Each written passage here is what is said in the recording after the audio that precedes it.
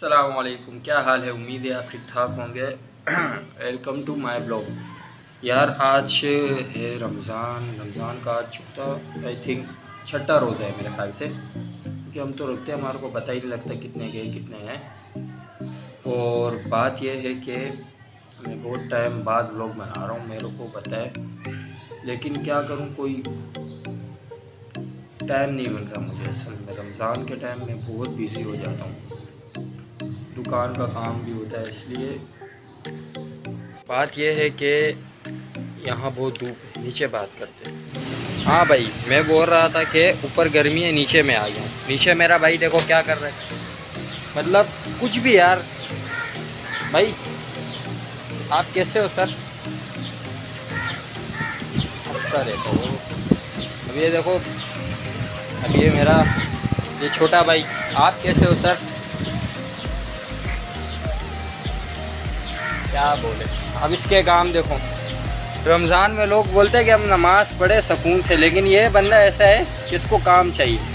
लेकिन ये नहीं अपने मर्ज़ी का काम करता है। ऐसा है नहीं है ये अपनी मर्ज़ी का मालिक है।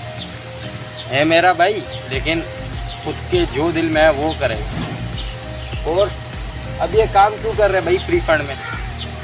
बता ज़रा। मुझे अच्छा लगता है इसलिए अच्छा लगता है। मेरा ही भाई।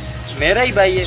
जैसे मुझे अच्छा लगता है तो मैं कर रहा हूँ उसको अच्छा लगता है तो वो कर रहा है। चलो लगे रहो भाई।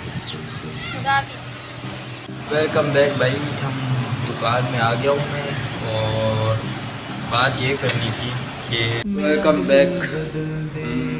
बात ये करनी थी मुझे कि ये है रमज़ान का महीना सही है? बात ये है कि नो नेकियों का महीना इसको बोलते हैं। जितना हो सके नेकिया करो, जितना हो सके लोगों को माफ़ करो और गलत काम नहीं करो। कुरान पाक की तिलावत करो, नमाज़ पढ़ो। बस यही कहना था। मैं भी यही इंशाल्लाह, नीयत तो मेरी यही अभी तक यही करता आ रहा हूँ। आगे भी इंशाल्लाह यही करूँगा। और बस इतना ही था। Okay, bye. खुदा हाफिज़। आगे मिलेंगे नेक्स्ट